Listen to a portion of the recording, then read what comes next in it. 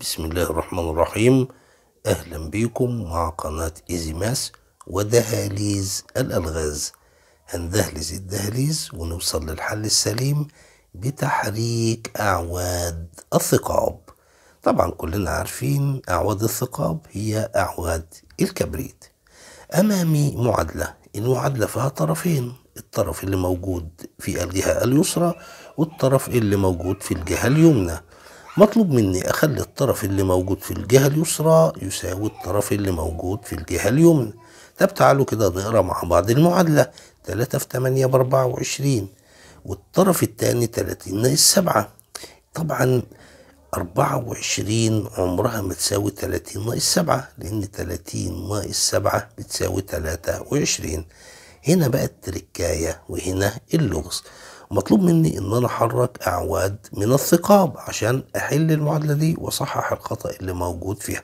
طبعا أنا هنا مطلوب مني أحرك عدد معين من أعواد الثقاب وبعد ما أحرك الأعواد المطلوبة بحط الأعواد دي في الأماكن المناسبة لتصحيح هذه المعادلة. نبدأ مع بعض ونشوف كم عود هنحركهم. أنا مطلوب مني عشان أحل المعادلة ديت أو أصحح الخطأ اللي في المعادلة دي إن أنا أحرك عودين اتنين فقط من أعواد الثقاب. أمامك سبع ثواني فقط للوصول إلى عودين الثقاب المطلوبين لتصحيح الخطأ في هذه المعادلة. نبدأ مع بعض نعد السبع ثواني.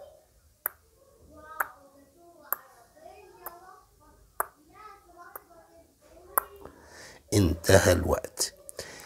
نبدأ بالتحدي الأول. فين أول عود هحركه؟ أول عود هحركه هو العود اللي موجود في الطرف الأيسر من المعادلة وهو العود ده. يبقى هنا هحول التمانية إلى تسعة. طبعا العود ده لازم أحطه في المكان المناسب. فين المكان المناسب للعود ده؟ بالتأكيد المكان المناسب للعود ده هو هنا. يعني هنا أنا حولت علامة ناقص إلى علامة زائد.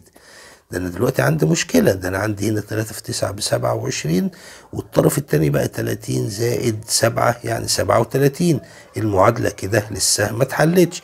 طبعا لأن لازم نحرك عود كمان اللي هو العود الثاني اللي بيمثل لي التحدي الثاني عشان أخلي طرفي المعادلة متكافئين أو متعادلين. يا ترى فين العود الثاني اللي هيصحح لي الخطأ اللي موجود في هذه المعادلة؟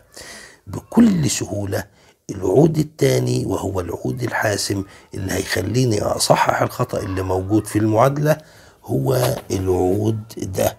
نحرك بقى العود ده ونشوف يا ترى فين المكان المناسب بتاع العود ده عشان نحل الخطأ أو نصحح الخطأ اللي موجود في المعادلة. بكل تأكيد المكان المناسب للعود الثاني هو المكان ده. تمام. نقرأ بقى كده المعادلة بعد ما حركنا العودين.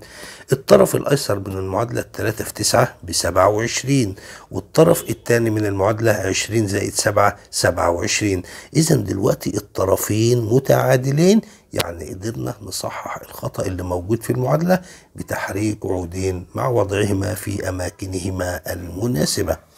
لو أنت أول مرة بتشاهد قناة ايزي ماس لا تنسى الاشتراك وتشير هذا الفيديو على جميع أصحابك وأصدقائك حتى نستفيد جميعا من دهاليز الألغاز اللي بنقدمها مع قناتك المفضلة إن شاء الله قناة إيزي ماس. انتظرونا دايما مع حلقات جديدة حلقات تحتوي على المزيد من الألغاز ومزيد من دهاليز الألغاز عشان ننمي فكرنا وننمي قوة ملاحظتنا. أشوفكم على خير مع فيديو جديد ومعلومة جديدة. السلام عليكم ورحمة الله وبركاته.